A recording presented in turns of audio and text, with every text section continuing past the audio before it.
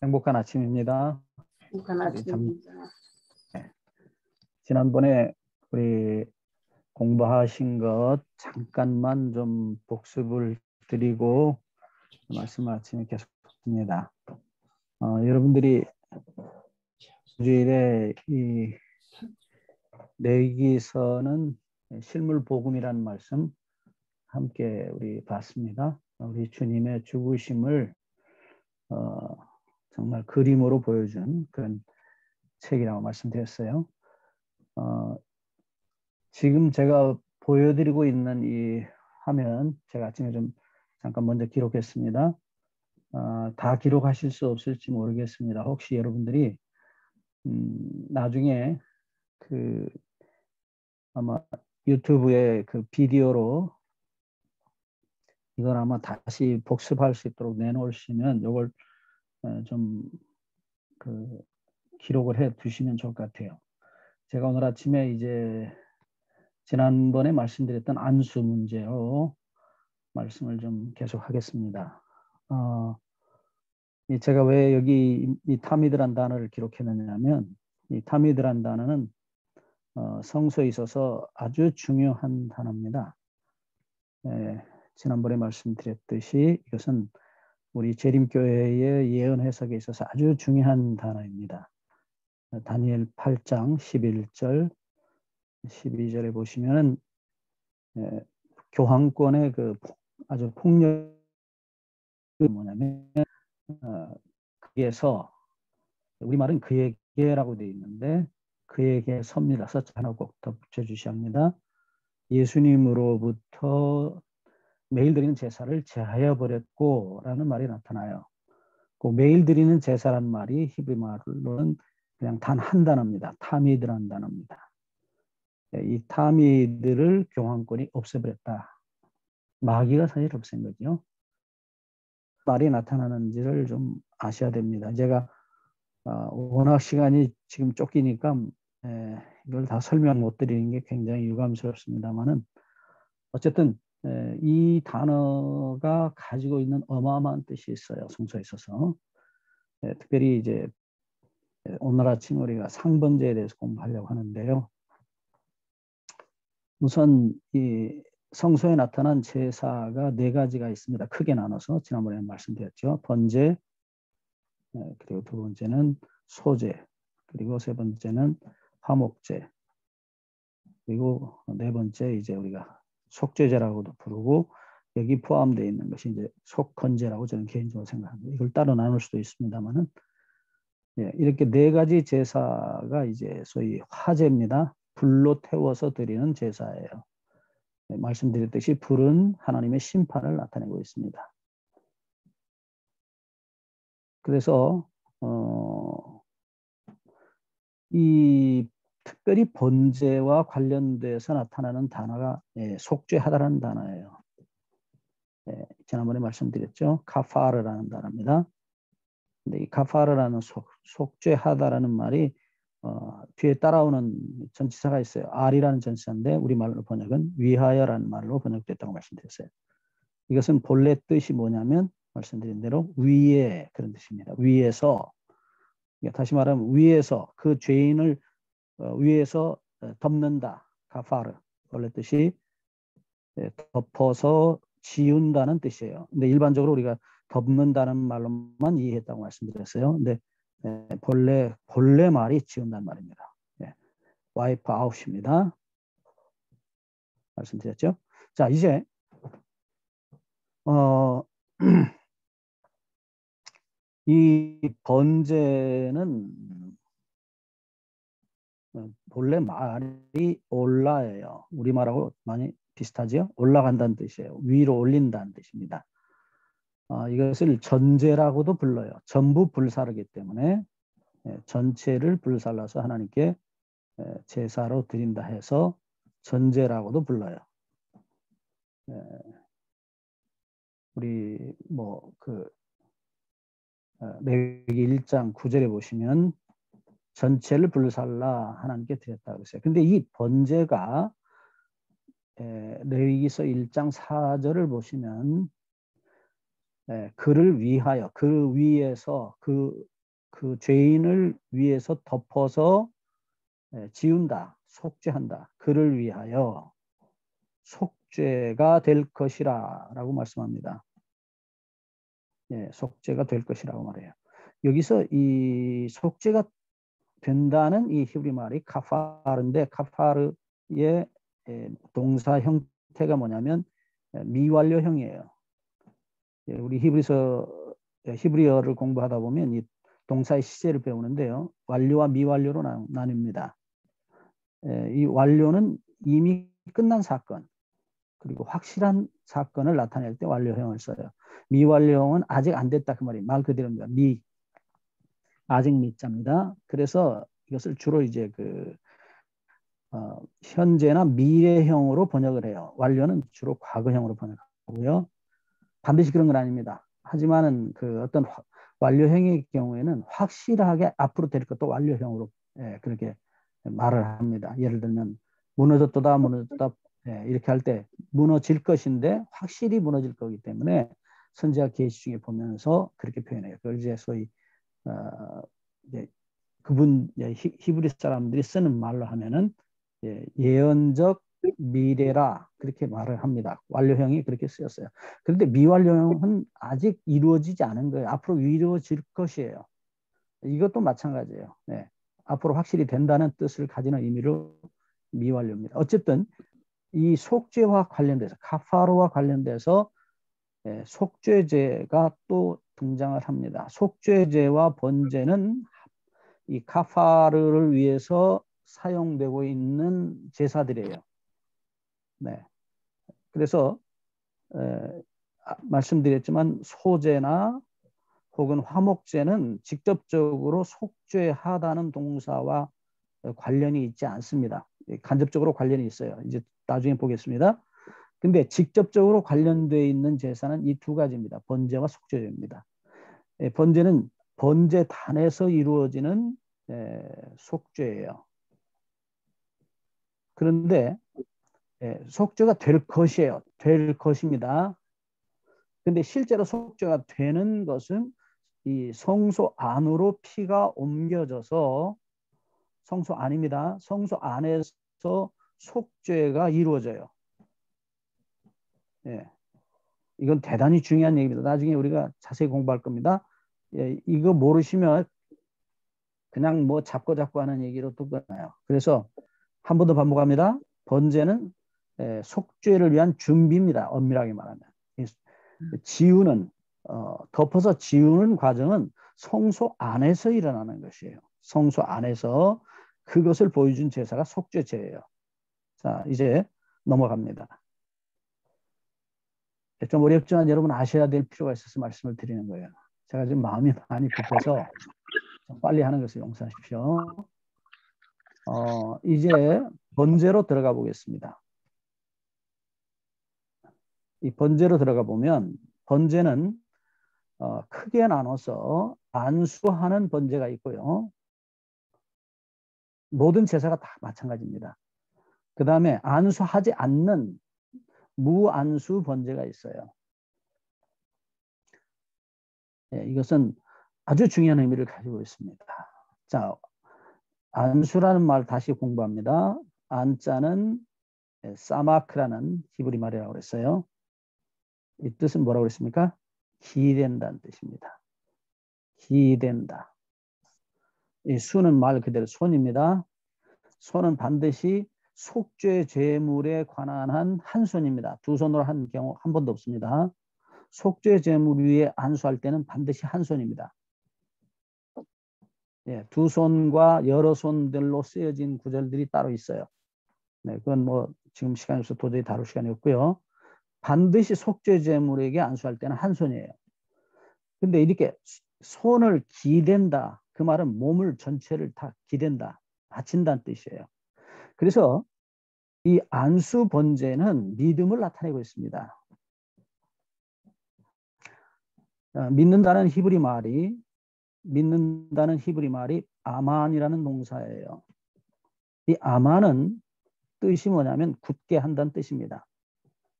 근데 이 굳게 한다는 이 아만이란 동사가 사역형으로 누구에게 시켜서 굳게 한다라고 쓰일 때는 반드시 이 단어가 번역이 우리말로 믿는다라고 번역돼 있어요.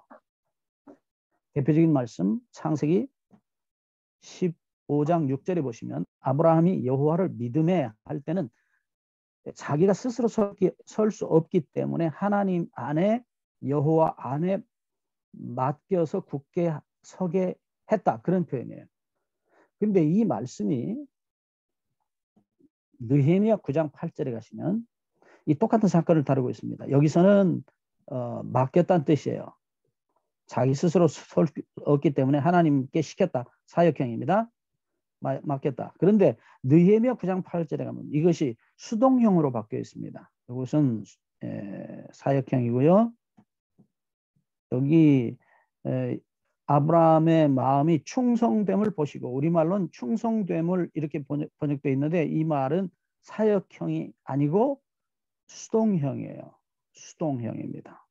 다시 말하면 그 마음이 그 심장이 굳게 되어졌다 그런 뜻이에요. 그러니까 한 번 더 정리하겠습니다.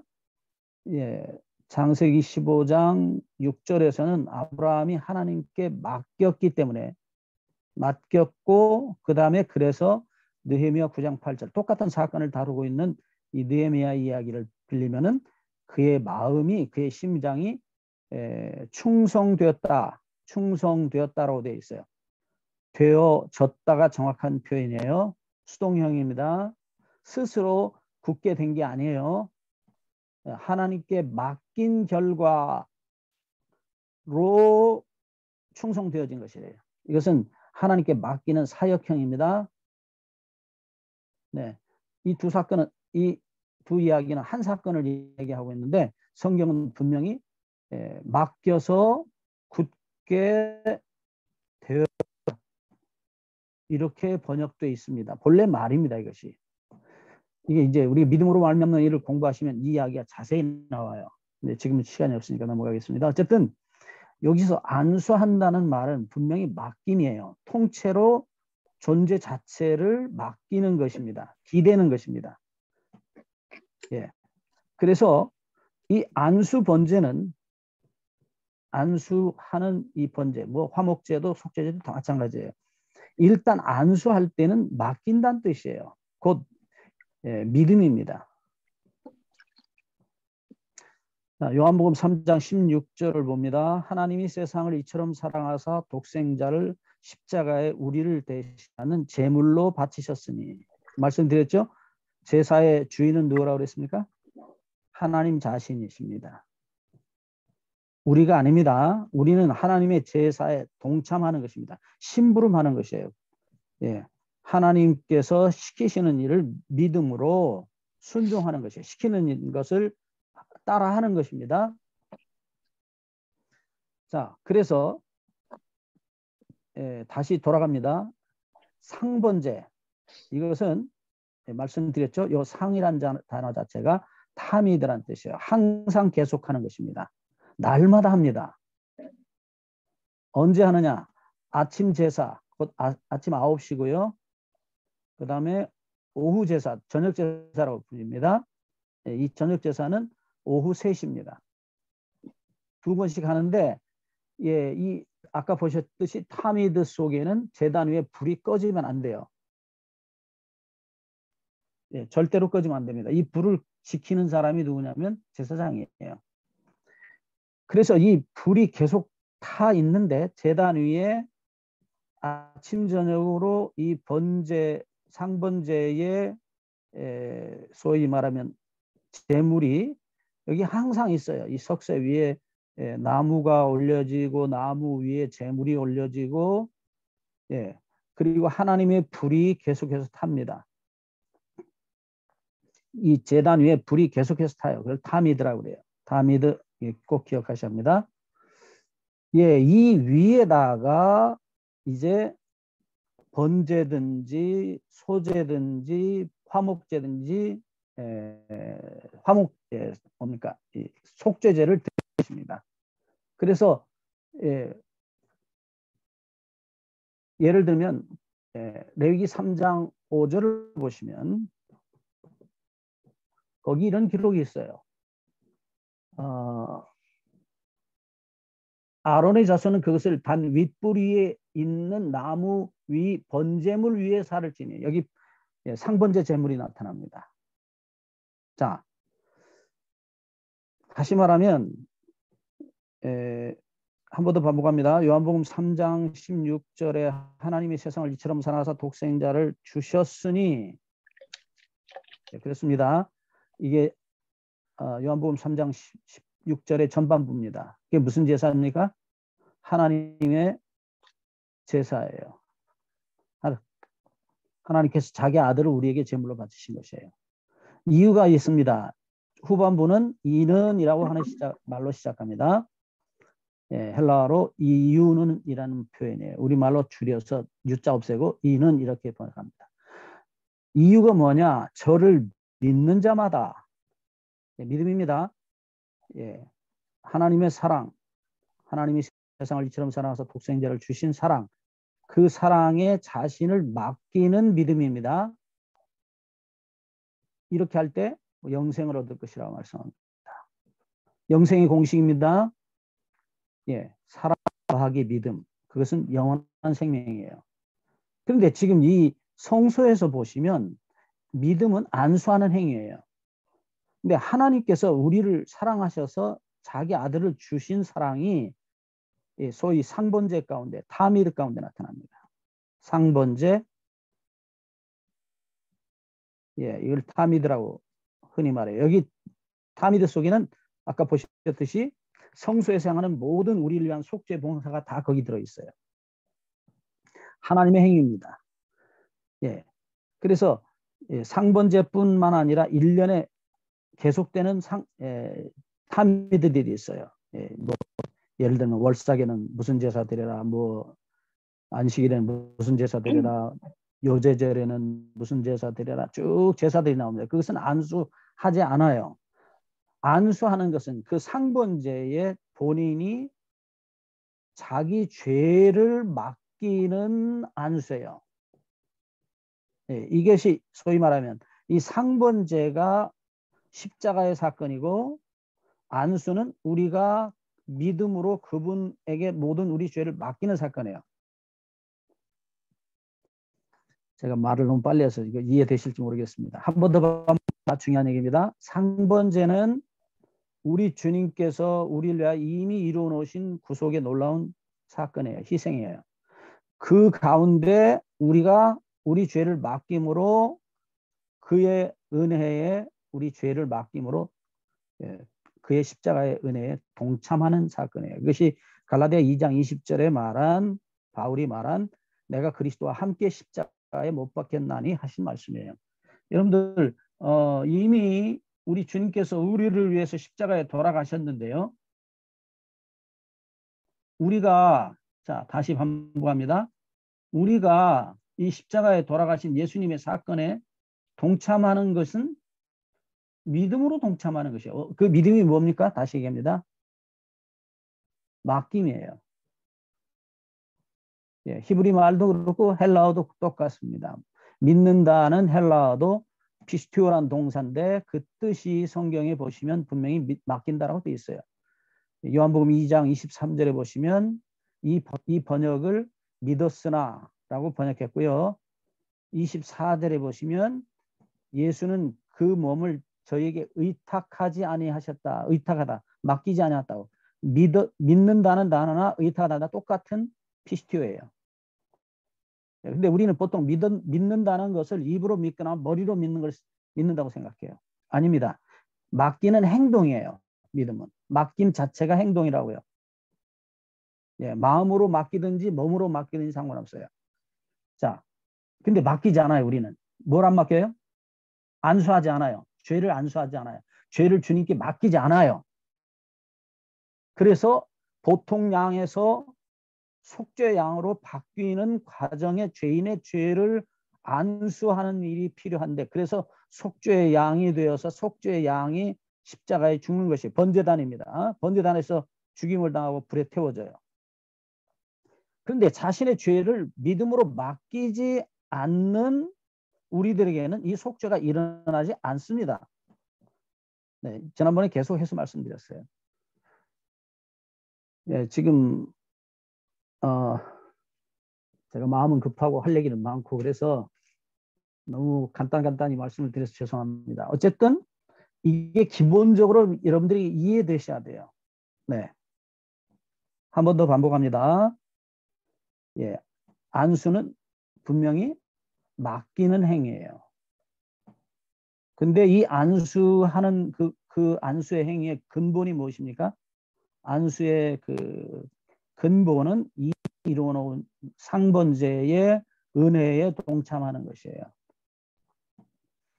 그래서 레위기서 1장에서부터 5장까지 보시면 계속해서 안수라는 말이 반복돼요. 네, 안수하는. 이, 이건 대단히 중요한 사건입니다. 네. 요거 여러분들이 이해해 주셨으면 참 좋겠어요. 자, 이제 오늘 번제를 좀 빨리 가야 될 것 같습니다. 이 내용이 너무 많아서 제가 좀 음, 빨리 가는 것을 여러분들 양해해 주시기 바랍니다.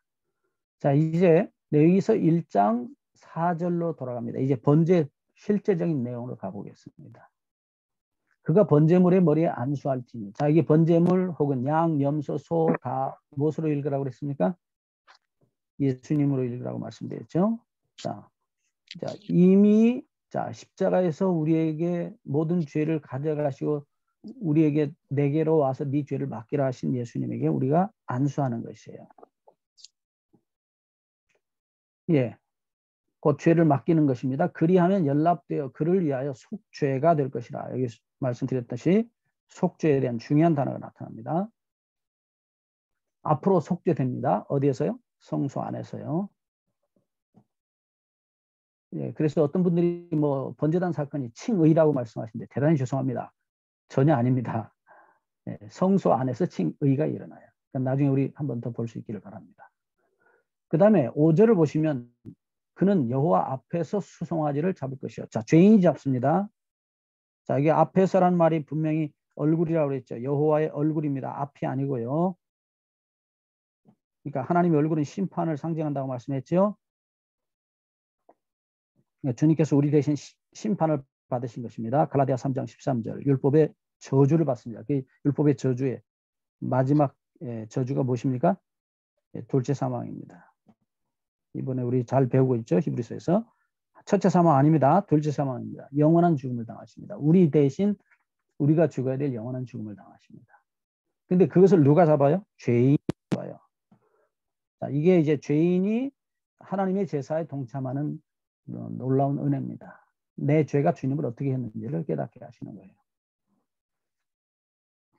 네, 그 다음에 5절 보시면 그 중간에 보시면 제사장들은 그 피를 가져다가 회막문 앞 단 사면에 뿌릴 것이라. 이 단 사면은 번제단은 분명히 십자가 사건입니다. 그 사면에 뿌린다는 말은 전 세계적인 예, 동서남북 어디든지 그리스도의 피가 우리의 속죄의 근거가 되는 것을 보여주고 있어요. 6절 보시면 그는 또 번제 희생의 가죽을 벗기고 여기서 가죽을 벗기는 장면이 나타납니다. 예, 짐승의 옷입니다. 자, 옷을 벗기운 예수님을 봅니다. 예, 예수님은 벌거 벗기운 채로 돌아가셨어요. 예, 그 밑에 가리지 않았습니다. 그 그림은 죄송합니다. 잘못된 그림입니다. 우리를 대신해서 우리의 모든 죄를 다 벌거 벗기우셔서 수치를 당하시는 장면이에요. 네, 이것은 누구의 모습입니까? 아담의 모습입니다. 범죄한 뒤에 아담의 벌거벗겨진 모습이에요. 예, 우리 대신 예, 벌거벗겨지신 예수님입니다. 저는 이거 생각하면 참 예, 가슴이 멍할 때가 참 많습니다. 저라는 죄인의 삶이 다 드러났을 때 어떻게 되겠어요? 우리가 조사 심판 앞에서 그렇게 당할 수 있어요. 우리가 구원 얻지 못하면 그 창피를 당할 겁니다. 우리의 모든 죄악의 그 아픈 상처들이 다 드러날 것입니다. 그 다음에 6절 뒤에 보시면 각을 뜰 것이라고 말했어요. 각은 사실은 어, 이 조각이란 뜻이에요. 히브 리 말은. 그래서 되게 이제 열 조각 낸다고 합니다. 왜냐하면 양은 이렇게 나무 위에다 올려놓을 때 한쪽으로 이렇게 눕기 때문에 발이나 이 손이 앞으로 갑니다. 그래서 이것을 나무 위에다가 이렇게 벌려놓기 위해서 예, 토막을 냈어요. 그래서 나무 위에 올려놓습니다. 십자가에 예, 벌려지신 예수님의 모습 그대로입니다. 여기서 예수님을 보셔야 돼요. 제가 지금 계속 여러분들이 예수님을 보시도록 요청합니다. 그 다음 7절입니다. 제사장 아론의 자손들은 단 위에 불을 두고 이것은 하나님의 불입니다. 당연히 예, 레위기 9장 24절에 하나님께서 불을 내리신 장면 보셨죠? 예, 수님을 실제로 예, 가슴을 가르시고 영원한 불로 태우신 분은 하나님 아버지이십니다. 그 다음 8절 보시면 아론의 자손 제사장들은 그 뜬 각과 머리와 기름을 단 윗뿌리에 있는 나무 위에 벌려놓을 것이며 예, 예, 나무에 벌리신 어린 양 예수님 보이시죠? 그 다음 구절입니다. 그 내장과 정갱이를 물로 씻을 것이요. 여기서 내장하고 정갱이 나오는데 두 정갱입니다. 예, 우리말은 하나로 되어 있는데요. 히브리 말은 분명히 두 개입니다. 앞, 예, 이 다리 두 곳으로 어, 예, 표현되어 있어요.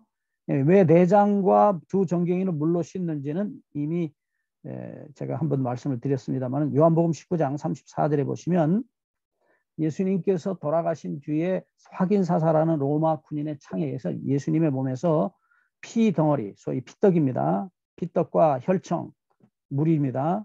그것이 흘러나왔어요. 그래서 예수님의 이 아래 두 다리를 타고 흘러내립니다. 이 내장은 이 피가 고였던, 물이 고였던, 피와 물이 고였던 장소고 두 정갱이는 흘러내리는 모습을 나타내고 있어요. 그림이에요. 여러분들 이 그림을 잘 확인해 보세요. 예수님이 오시기 전 1450년 전에 하나님께서 모세를 통해서 이 당신의 죽으심을 그대로 그림으로 그려주셨어요. 예, 그 다음 구절을 보시면 그 내장과 정계는 물로 씻을 것이요 제사장 그 전부를 단위에 불살라 화제를 삼을지니 여기서 아까도 말씀드렸던 전부입니다. 그래서 전제라고 부르는데 예, 주님께서 남기시지 않았다는 것입니다. 다 우리를 위하여 자신을 온전히 하나님께 제물로 주십니다. 그것은 우리의 죄를 남기시지 않았다는 말이에요. 네. 어, 향기로운 냄새란 말이 나타나죠. 여기 향기롭다는 말은 어, 사실은 예, 분노를, 진노를 어, 삭히는 그래서 어, 평안해지는 예, 누아크라는 단어에서 왔어요. 예, 편히 쉬다. 여기 니코아크라는 단어인데 이 단어의 원래 어근은 누아크예요. 노아, 노아도 여기서 나옵니다. 하나님께서 죄를 완전히 태우셔서 죄를 완전히 없애셔서 자식을 괴롭히고 죽인 그 죄를 영원히 없애시는 하나님의 안심, 하나님의 그 평안을 가리키고 있어요. 근데 여기서 또 하나의 아픈 얘기는 이 하나님의 안식 속에 뭐가 포함되어 있습니까? 하나님의 아들의 당신의 아들의 죽으심과 고통이 여기 포함되어 있어요. 비록 그 고통과 죽으심 속에서도 하나님은 자식들을 괴롭힌 죄를 없애신 것으로 편히 쉬신다고 말하고 있어요. 근데 여기 마지막 냄새란 말이 나타나는데 냄새는 예, 예, 정말로 기가 막힌 단어입니다. 예, 재물이 다 타서 없어지고 냄새만 하나님께 남아요. 이게 하나님께서 드시는 나중에 보시면 음식이라고 되어 있어요. 나중에 우리 화목제 가서 보시면 합니다. 자, 없어졌어요. 그런데 그 죄와 이 번제물이 타서 없어지면서 마지막으로 남겨놓는 것이 냄새예요. 예, 하나님께서 이것을 드시겠다 그랬어요. 예, 참 아픈 얘기입니다. 아버지가 아들을 다 태워서 없애시면서 없어지는 아들의 냄새를 맡, 으시면서 안심하셨다는 것이에요. 이 안심 속에는 무한한 고통, 우리 아버지의 차라리 자기가 죽고 말지 아들 영혼이 없으셔야만 했던 그 고통이 그 사랑의 고통이라고 말할 수 있죠. 이, 이, 이 냄새 속에 있었어요. 아, 제가 참 하고 싶은 얘기 많은데 뭐 도리 없습니다. 시간이 돼서 마치겠습니다.